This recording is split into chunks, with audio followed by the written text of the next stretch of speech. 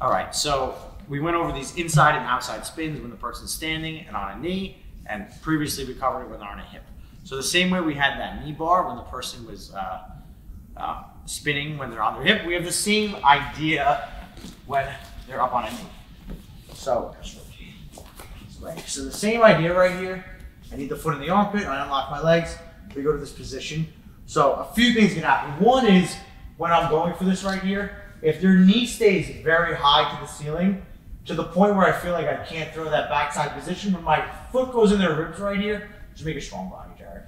When my foot goes in their ribs right here and I lift my hips up, I can just throw a knee bar by throwing my knee behind his knee.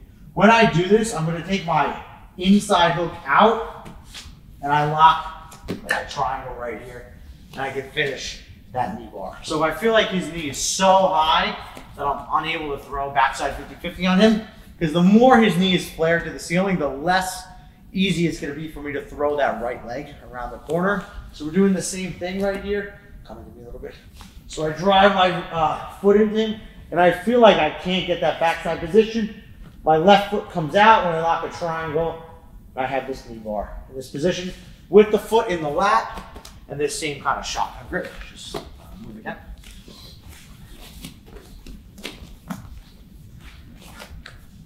Right here. Foot comes in. I feel like I can't get this. I turn my knee on of the hip, take the bottom leg out, tight knee bar right here.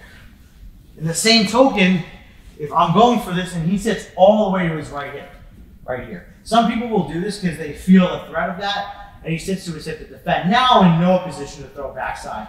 So same thing as when he's on a hip in the previous section. I climb my right hand close to the knee, and I throw my knee behind his knee. Now we have this kind of lat knee bar, or I have the heel hook transition option as well. All right, so it's the same move. He's just, you know, on a hip. It's just important you guys see that option. Like when he's up on a knee, it's the same thing as when he's on a hip. We do the same type of options. That really helps me think about this position. This position is, is really identical whether he's on a, a knee, standing, or on a hip. It's just, you know, the way we go about it is slightly different. So just go up to the knee. So I put that hook inside.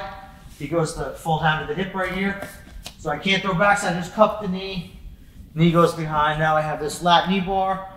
As I sit through, if he goes to turn his leg down, I can catch the heel. Leg comes inside. We finish. All right, so very, very similar to the other one.